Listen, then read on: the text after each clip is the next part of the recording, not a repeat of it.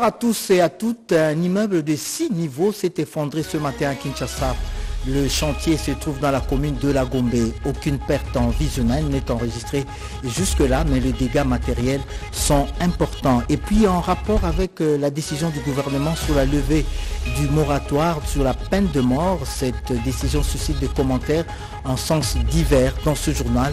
Vous suivrez les avis d'un professeur des universités. En rapport avec le mois de la femme, une campagne médicale gratuite pour la prise en charge de maladies gynécologiques vient d'être lancée avec l'aide de la clinique des anges. Les détails dans ce journal. Mesdames et messieurs, bonsoir. Ce, jour, nous célébrons la journée mondiale du recyclage. Pour en parler, nous allons recevoir le délégué général du groupe Angèle Cosmétique, M. Jérôme Sekana. Bonsoir. Bonsoir Guy. Nous ouvrons ce journal par ce drame qui est survenu ce matin à Kinshasa. Un immeuble de six niveaux s'est penché comme la tour de Pise et peut s'effondrer à n'importe quel moment. En tout cas, selon des témoignages recueillis sur place par notre reporter Tété Bongunda, cette situation est consécutive à une erreur de construction. N'importe comment, cet effondrement de l'immeuble relance le débat sur la qualité du sol, qualité des matériaux de construction, ainsi que le sérieux dans la délivrance de permis de construction. C'est un immeuble de six niveaux en construction qui a commencé à s'affaisser vers sa façade principale sur l'avenue Malembankoulou au commandement dans la commune de la Gombe. Une situation qui met en insécurité tous ses voisins et voire les usagers de cette route. Trouvé sur les lieux, Jules César Fumukanda Basila, officier de la police judiciaire à la police nationale congolaise, explique le fait. C'est vers 10h34 que j'étais de passage ici. En venant de mon bureau, j'ai constaté le fait se produit devant mes yeux. Donc euh, nous disons la façon, on a procédé d'abord euh, à mettre la fondation de cet immeuble, c'était mal procédé. Et en outre, il y a un autre immeuble qu'on est en train de construire à côté. Donc on a trouvé vraiment à un niveau incroyable. Donc euh, je pense que la façon de construire c'est ça le défaut. Que pourrait être la cause de cet écroulement? Que doit-on faire à l'étape actuelle alors que le parking, le rez-de-chaussée et le premier niveau sont déjà sous la terre? Nous, nous allons mettre les moyens pour barricader euh, la partie de, l'avenir afin que la population ne puisse pas accéder dans cette partie. Maintenant, euh, nous avons sollicité au, au bourgmestre, qui nous suit d'ailleurs, d'appeler les services compétents qui pouvaient venir donner une solution par rapport à cet immeuble. Parce qu'on ne peut pas laisser comme ça. On ne sait pas quand est-ce que ça pouvait s'écrouler complètement. Donc nous voulons à ce que la hiérarchie de notre service ou soit nos autorités puisse interpeller les autorités compétentes qui pouvant prendre la solution afin d'amener des engins qui peuvent euh, écrouler complètement euh, l'immeuble pour éviter les dangers. La population envoisinante est dans l'inquiétude, ne sachant pas quand Comment et vers quelle direction cet immeuble finira sa course si rien n'est fait à temps Malumbela est descendu sur place et il a recueilli le propos d'un expert, c'est un architecte, suivez-le.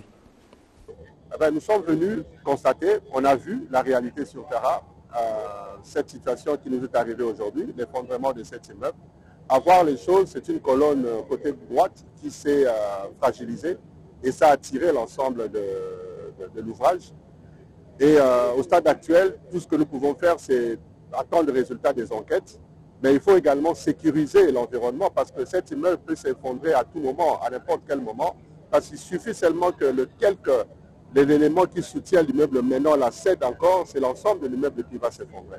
Donc voilà pourquoi il est important que les dispositions soient déjà prises sur le plan sécuritaire, les câbles électriques, la tension, tout ça, pour que la population ne puisse pas payer euh, doublement. Mais le reste sont les résultats des enquêtes que nous attendons. Une fois qu'on a ces résultats, les responsabilités seront établies. Est-ce que le bâtiment avait l'autorisation de bâtir? Toutes ces choses. Euh, voilà, à notre niveau, nous, nos services sont en train d'identifier euh, le maître d'œuvre, qui, qui, est l'architecte, qui nous donnera également les détails sur l'ouvrage. Le contrat sino-congolais concernant le mine, les deux parties, vous le savez, ont apposé leur signature au bas de l'avenant numéro 5 à la convention de collaboration. Cet accord qui porte les dividendes de la République démocratique du Congo à 7 milliards de dollars américains représente la construction de plus ou moins 2000 km de route à travers l'immense territoire national à la primature, cet accord gagnant-gagnant a été au cœur d'une séance de travail avec les différents acteurs euh, concernés par cette convention. Pati Tondwango, Gaëtan Magalano. Après la signature de l'avenant numéro 5, le programme Sino-Congolais vient d'être relancé, appelé à repartir sur les nouvelles bases avec l'espoir de donner satisfaction à toutes les parties prenantes le Premier ministre et chef du gouvernement, Jean-Michel Samaloukonde Kienge, qui a présidé ce lundi 18 mars 2024 la cérémonie de relance, a appelé l'agence de pilotage de collaboration et suivi des conventions à s'appuyer sur l'expérience du programme sino-congolais pour l'étendre à d'autres conventions de collaboration. C'est ici le lieu de saluer la vision clairvoyante son Excellence M. le Président de la République et chef de l'État Félix Antoine Sekedi Chilombo, dont l'implication personnelle nous a conduit à cet accord. Cette euh, renégociation marque un nouveau tournant pour la relance euh, des activités du programme euh, sino-congolais et recommande à tous et à chacun une détermination et un engagement fort en vue d'opérer les meilleurs choix pour le bien de notre pays. Freddy Yodichembo, directeur général de l'APCSC, a sollicité une franche collaboration des parties prenantes. Nous sollicitons de ce fait la franche collaboration de toutes les structures impliquées dans ce programme pour que cette convention soit une véritable aubaine pour la reconstruction de notre pays. L'APCSC a donc la charge de veiller à consolider les acquis de ce partenariat qui vise le développement des infrastructures en République démocratique du Congo. Organisée sous le haut patronage du chef de l'État Félix-Antoine Tshisekedi Chilombo, cette cérémonie a connu la participation de quelques membres du gouvernement, du cabinet du président de la République, des mandataires et de certains partenaires de la République démocratique du Congo. Le programme sino-congolais a été décrié pour n'avoir pas répondu aux attentes des Congolais en termes des infrastructures en échange de leurs ressources exploitées.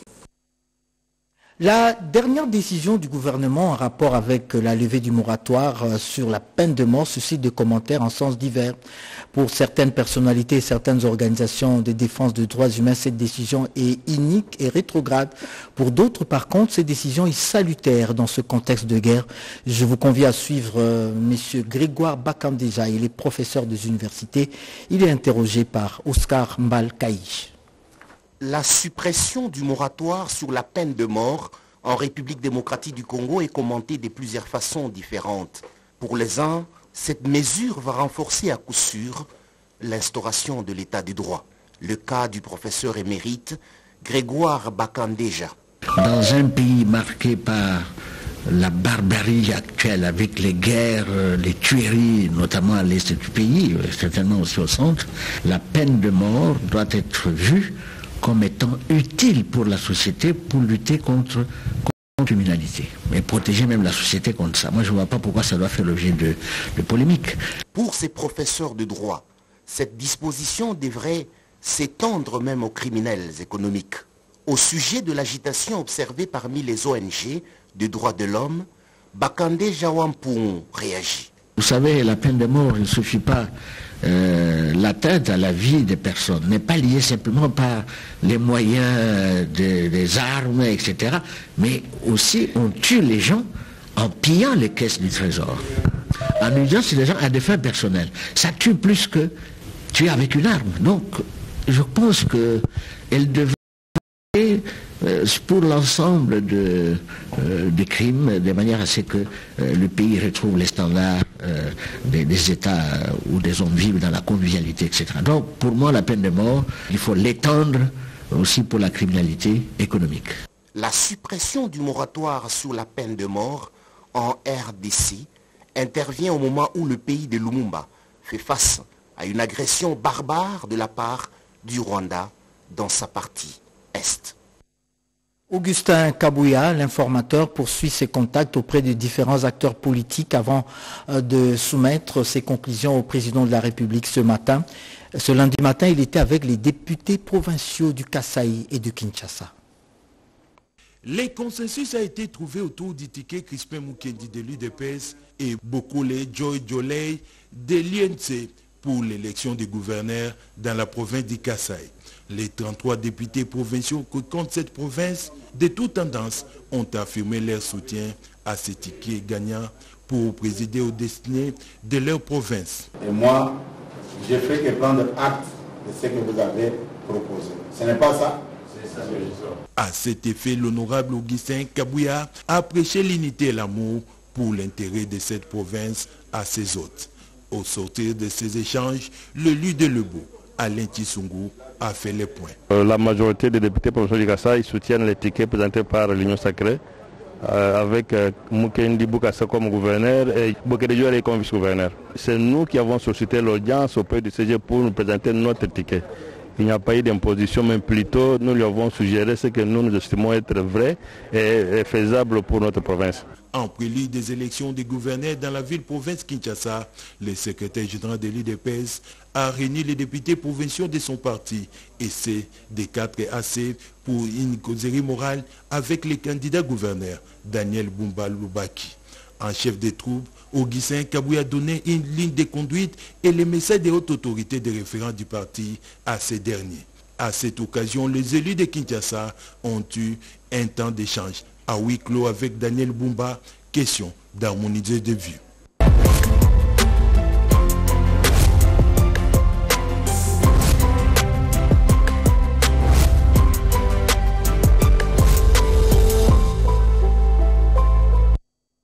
Le viol est devenu une arme de guerre, surtout dans la partie est de la République démocratique du Congo.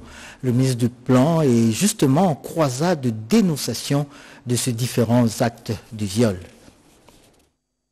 Depuis plus de dix ans, la guerre ne cesse de décimer les populations à l'Est et le nombre exact de violences faites à la femme est loin d'être connu les traumatismes et la stigmatisation sont lourds à porter que certaines préfèrent se taire. C'est dans cette optique que le Fonds national de réparation de victimes de violences liées au conflit a pris l'engagement de dénoncer ces actes ignobles. L'histoire de ce jour a été interprétée par la ministre d'État en charge du plan, Judith Toulouka Souminois. Mon nom est Fatou. À l'âge de 11 ans, j'ai vu mes parents cultivateurs perdre la vie sous mes yeux. On les a enterrés alors qu'ils étaient encore vivants. Leurs cris de douleur résonnent encore dans mes cauchemars. On m'a torturé jusqu'à en perdre connaissance. J'en ai des cicatrices profondes sur mon corps et dans mon âme. Je me demande toujours, pourquoi moi? Qui peut me comprendre? Plus jamais seule. Plus aucune femme n'affrontera les atrocités de guerre et de violence seule.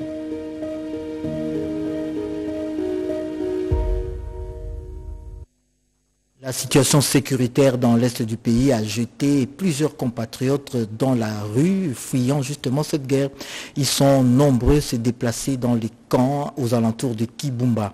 Ces déplacés ont reçu le réconfort d'un élu. Goma, dans la province du Nord Kivu, sur la rive nord du lac Kivu. Aussitôt arrivé dans un cadre humanitaire, Eliezer Tamboué, député national, est allé présenter ses civilités au gouverneur militaire, Peter Chirimwami. Bien après, le Lu de Lukunga s'est rendu au camp des réfugiés sélectionnés pour poser des actions humanitaires. Une ronde de ces sites qui lui a permis de se mettre à l'écoute de ces personnes loin de leur logis, fuyant le combat entre les forces armées de la République démocratique du Congo qui défendent leurs terres et les RDF du Rwanda qui appuient le M23 dans le cadre de son séjour sur le sol volcanique. Eliezer Tamboué a visité également le siège de l'AISHP, Association pour l'intégration sociale de handicapés physiques que dirige Madame Hortense Cavouot, et ce, avant de procéder à la remise des vivres aux déplacés du camp Rigaud, CBCA. Aux côtés de l'apôtre Jules Bumba, les deux personnalités ont procédé à la remise des vivres tout en réitérant leur soutien et réconfort moral à ces déplacés des guerres. L'acte que vous voyez qui a été posé ne répond pas réellement de ce que nous ressentons. Mais la plus belle femme du monde ne sait donner que ce qu'elle a. C'est comme ça que l'apôtre Gilles Bumba a bien annoncé que c'est la première action. Nous allons revenir. Le moment que Dieu mettra à notre disposition encore un peu de moyens, nous allons revenir pour les assister. Visiblement heureux, Eliezer Tambou et l'apôtre Jules ont promis de revenir au cours de cette même année si les besoins se présentent encore avec acuité comme c'est le cas. La délégation a quitté Goma pour rejoindre Kinshasa. La voirie urbaine de Kinshasa se trouve dans un état piteux. Plusieurs chantiers sont ouverts dans la capitale pour ouvrir et construire des routes et réhabiliter celles déjà existantes. Le premier citoyen de la ville a inspecté les routes de la capitale et certaines infrastructures en construction. William Tunakov.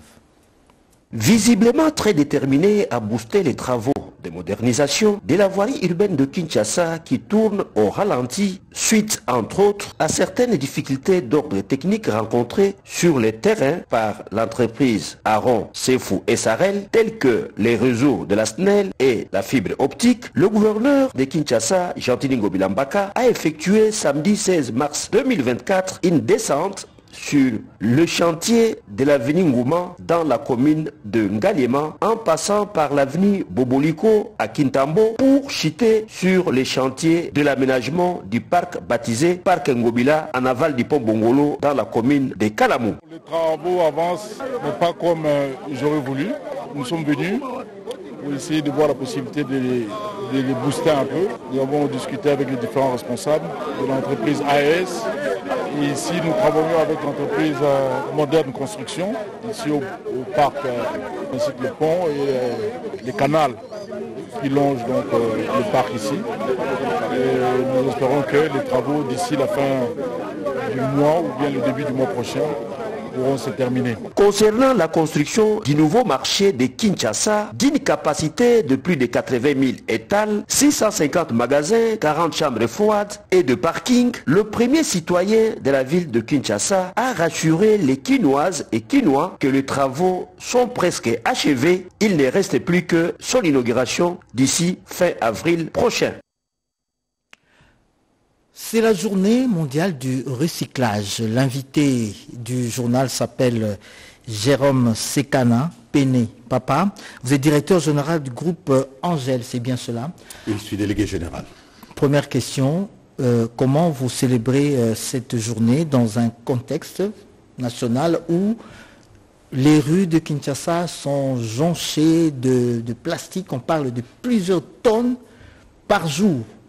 Oui, il faut d'abord féliciter euh, le gouvernement et surtout le président de la République qui nous avait fait l'honneur de venir inaugurer euh, notre usine qui se trouve sur poids lourd et qui permet aujourd'hui de débarrasser la ville de Kinshasa de plus ou moins 50 tonnes de bouteilles plastiques PET et nous traitons 32 tonnes qui donnent, qui produisent plus ou moins 20 tonnes par jour de RPET, c'est-à-dire euh, des matières premières qui permettent la fabrication des bouteilles. Donc depuis la nuit des temps, on n'avait jamais ça.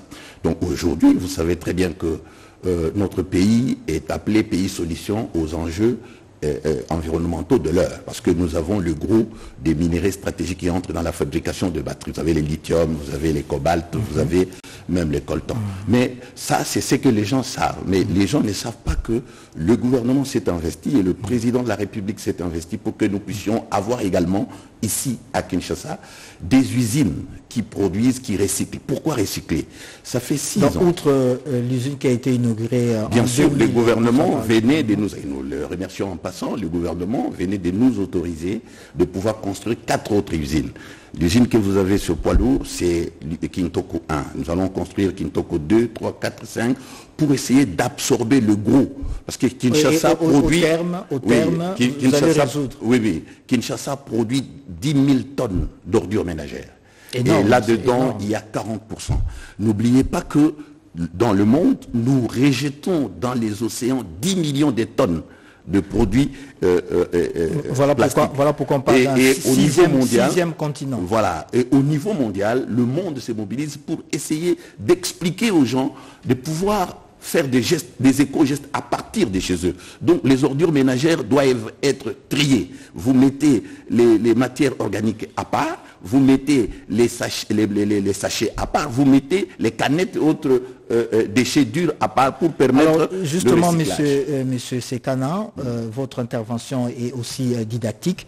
Je vous vois avec quelques matériels. Qu'est-ce que vous pouvez nous en dire, Je vais vous dire que- très très brièvement? Pour le moment, la République démocratique du Congo importe deux, euh, 2000 tonnes de, de ce qu'on appelle le granulé PET. C'est la matière première, ce sont des dérivés du, pé- du- du- du pétrole. C'est sur base de ça, c'est la matière première qui permet à ce qu'on puisse fabriquer des bouteilles et que nous utilisons. Alors, pour arriver à maintenir cet argent en République démocratique du Congo, on a construit la première usine. Voilà, on a construit la première usine. Ça, c'est la matière première qu'on appelle les vierges, ou RP, donc euh, PET. Et puis, c'est un terme technique, euh, je ne sais pas rentrer, ça s'appelle euh, poly, euh, de... Oui, ça, c'est un terme scientifique C'est un terme scientifique.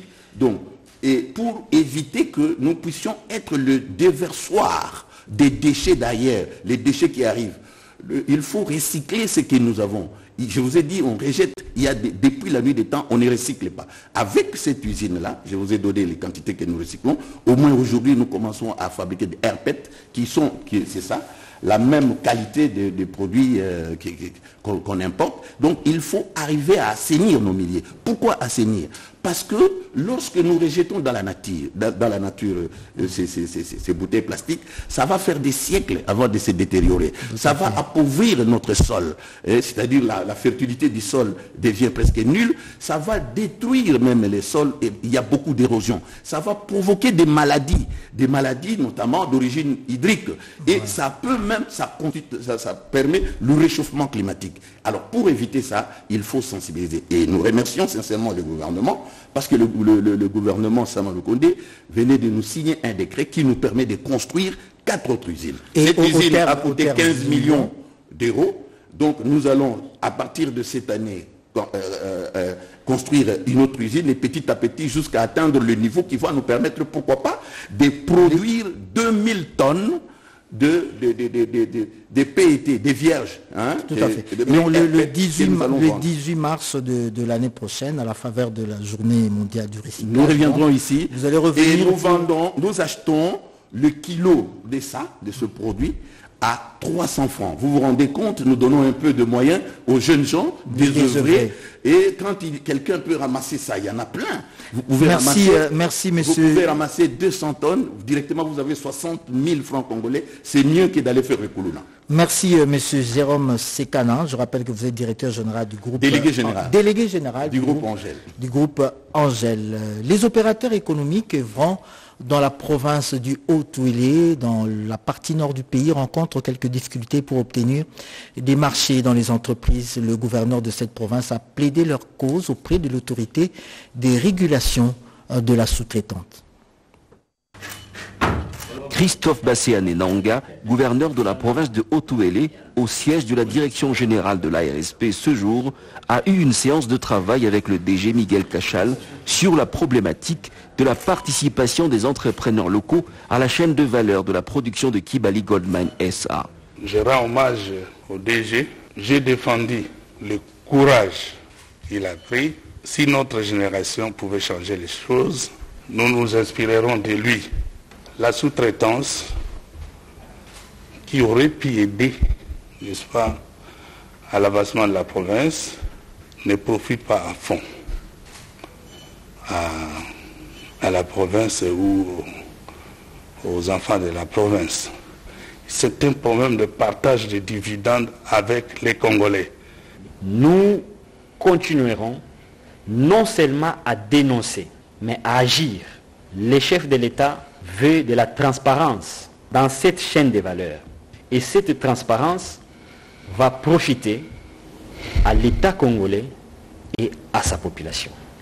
C'est au travers euh, le contrôle que nous sommes en train d'étudier, euh, voir comment nous allons améliorer le monde entrepreneurial. Et qui dit améliorer le monde entrepreneurial, c'est l'améliorer au travers des textes qui protègent le secteur entrepreneurial dans sa globalité. Créer de la richesse au Congo en passant par la sous-traitance, cela ne saura se faire sans la rigueur de la loi. De l'Agence maritime internationale du Congo, Ami Congo, qui se dit euh, surprise de recevoir dans ses installations de personnes venues pour récupérer des marchandises, ciment blanc et barres de fer dûment commandées et payées par virement bancaire au profit d'une société dénommée tantôt Ami Congo SRL, tantôt Ami Congo Group, active sur les réseaux sociaux. La société Ami Congo SA décline toute responsabilité tout en fustigeant pareille pratique susceptible de ternir son image de marque auprès du public en général et de son aimable clientèle en particulier. La société Ami Congo rappelle qu'elle est spécialisée en transit, en manutention, en logistique, en agence de douane et services voyage, euh, qu'elle n'a jamais commercé directement ou indirectement, ni pour elle-même, ni pour le compte de tiers, le ciment gris et les barres de fer, alors qu'il s'agit de l'objet social de la société incriminée. Ami Congo a travaillé et encore maintenant travaille encore avec professionnalisme pour la satisfaction de sa clientèle et appelle à la vigilance de personnes abusées à se pourvoir par toute voie de droit. La société Ami Congo a d'ores et déjà mis sur pied une équipe chargée de mener des enquêtes contre ces attaques contraires à sa politique et susceptible d'être qualifiée de criminelle afin de bouter hors d'état de nuire toute personne qui serait de loin ou de près impliquée. C'est une dépêche qui nous vient de Ami Congo. Elle porte la signature de M. Guy Pascal Ngoma Panzou, administrateur directeur général de Ami Congo SA. Si vous êtes jeune et que vous avez des projets bancables qui cherchent financement, eh le Fonds de promotion de l'industrie est prêt à vous financer. Suivez ce reportage. C'est le bout du tunnel du calvaire pour les jeunes entrepreneurs congolais. Ces derniers ne seront plus soumis à la présentation d'une garantie ou une hypothèque avant de bénéficier des financements de leurs projets. Un protocole d'accord entre les fonds de promotion de l'industrie FPI et les fonds de garantie de l'entrepreneuriat au Congo FOGEC vient d'être signé ce lundi à Kinshasa par le directeur général du FPI, Bertin Moudi Mouchisekedi, et la directrice générale du FOGEC, Hélène Gakuru. Une cérémonie qui s'est déroulée sous les regards du ministre de l'Industrie, Julien Paluku Kaonga, et de son collègue de l'entrepreneuriat, Désiré Biréandi. Ces nouvel accord permettra au FPI de mettre à la disposition de ces jeunes entrepreneurs une enveloppe consistante qui sera donnée désormais par le FOGEC. Ces protocoles d'accord, précédés par la réduction du taux d'intérêt au FPI à 4% pour les jeunes, augurent la création des millionnaires congolais, a fait entendre le ministre de l'Industrie. C'est une innovation en RDC que deux ministères, à travers les deux établissements, collaborent pour participer à la création des millionnaires, tel que le président de la République, son Excellence Félix Antoine Tshisekedi, l'a clairement indiqué. Les emplois font partie de ces six priorités. Le ministre de l'Entrepreneuriat a salué de son côté cette coopération tout en appelant les districtures au pragmatisme. Nous ne pouvons pas aller loin sans l'industrie, que nous sommes l'incubateur du ministère de l'Industrie. Ces partenariats augurent désormais une nouvelle ère pour l'entrepreneuriat congolais. Les forces armées de la République démocratique du Congo ont procédé dernièrement à l'arrestation des présumés bandits. Les détails dans ce reportage de nos confrères de la presse militaire. Trois groupes de malfaiteurs ont été présentés par les colonels diplômés d'état-major Moutete Kemutunda Jim, commandant du bataillon police militaire ville de Kinshasa, au commandant adjoint de la 14e région militaire en charge de l'administration et logistique et représentant du commandant 14e région militaire empêché. Ces arrestations sont consécutives à l'opération d'assainissement dans le camp lieutenant-colonel Kokolo et ses environs. Cette opération est destinée à éradiquer les phénomènes Kuluna au camp Kokolo. Moi, nous avons le premier groupe. Leur mode opératoire, c'est le mur que vous voyez côté saute Ça veut dire ils opèrent, ils arrachent des biens. Et aussitôt arrachés, ils sautent, ils rentrent dans le camp et c'est fini. Saute mouton, ça neuf ici. Moi, je rentre un autre groupe. Ce sont des Koulouna qui livrent bataille. Voilà ce qu'ils utilisent comme arme blanche. Ils ont des chanfres, il y a la boisson, il y a aussi des petits médicaments qu'on appelle bombés. Moi, c'est le troisième groupe qui opère vers Selemba au Bandal. Lors d'une patrouille de peine, il y a la population qui a dénoncé, clameur publique. Ils arrachent les motos, ils fument le sang, ils tuent. Pour sa part, le genre de brigade Maïcha Sempabouka Etienne a félicité les commandants bataillon PEM pour le travail abattu et lui a promis le soutien total de la hiérarchie militaire pour la sécurisation du camp lieutenant-colonel Kokolo et d'autres casernes de la garnison de Kinshasa. Immédiatement après, ces inciviques ont été transférés à la justice militaire. Et puis un cabinet de sages-femmes vient de voir le jour à Kinshasa. Elle est l'œuvre d'une experte en la matière qui veut apporter sa contribution en matière de santé, de la reproduction. Patricia Ungu. La sage-femme, ce rôle très important dans la réduction de la mortalité maternelle et néonatale, mérite une attention particulière en République démocratique du Congo. Après avoir acquis une expérience de plus de 10 ans en Europe, en France, qui l'a permis d'acquérir des connaissances et des compétences solides en matière de la santé reproductive, Stéphie Lula, cette compatriote congolaise, décide de mettre en pratique l'expérience acquise en cette matière au service de son pays. Et ce, dans le but de participer à l'amélioration de formation de sages-femmes pour une meilleure prise en charge materno-foétale. D'où l'inauguration de ce nouveau cabinet de sages-femmes indépendantes au Congo dénommé Maison périnatale Mwanamboka. Préoccupée par les conditions de la sage-femme en RDC, Sophie s'est dit prête à apporter son soutien aux femmes congolaises. L'idée, c'est de vraiment travailler en collaboration avec le gouvernement et euh, l'État euh, et tout ce qu'ils ont mis en, place avec la maternité gratuite. Donc vraiment le fait euh, que, les subventions avec différents partenaires financiers soient présents, et eh ben, ça va vraiment rendre l'accessibilité et ça va permettre qu'on ouvre dans différentes régions, différents quartiers pour que tout ne soit pas situé à Gombe seulement. Ce nouveau cabinet est un ouf de soulagement pour la sage-femme congolaise afin de renforcer les capacités pour un travail avec professionnalisme. Carnet noir pour clore ce journal. Euh, la RTNC de nouveau en deuil. Nous avons perdu la célèbre présentatrice de journaux parlés à la radio nationale. Madame Malou Malou a été, a été conduite hier en sa dernière demeure. Suivez ce reportage. En présence de ses confrères et consoeurs, Yvette Malou Malou, la présentatrice vedette du journal Parler à la radio, a pris possession de sa dernière demeure au cimetière chemin de Paradis. En moins de temps, elle a su forcer l'administration des auditeurs par sa voix imposante. Le directeur des informations radio Aurélie Mopépé a vanté les qualités exceptionnelles de l'illustre disparu. Yvette Maluma Lukassi a évolué comme journaliste au sein de la direction des informations radio, notre deuxième famille. Yvette a su faire sa place à la rédaction française de la radio nationale. Professionnellement, je peux l'affirmer, elle est parmi les deux femmes journalistes de la rédaction à ce jour à avoir fait toutes les éditions du journal, à savoir 6h, 13h, 19h et 0h. Yvette Maloumalou a touché donc par sa voix les auditeurs de toutes les éditions du journal et celles de bulletin d'information. C'est ce qui explique d'ailleurs les nombreux messages de condoléances des auditeurs de partout reçus à la direction des informations radio à travers ses cadres et agents. Pour toute personne qui connaissait Yvette, je pense qu'elle gardera d'elle surtout sa joie et sa gentillesse. Elle avait hâte de reprendre les services car elle était en congé Yvette devait revenir au service le 4 mars dernier, mais Dieu en a décidé autrement. L'Éternel a donné et il a repris. Que son nom soit glorifié. À tous et à chacun, je dis infiniment merci d'avoir suivi ce journal. Bonsoir et bonne semaine.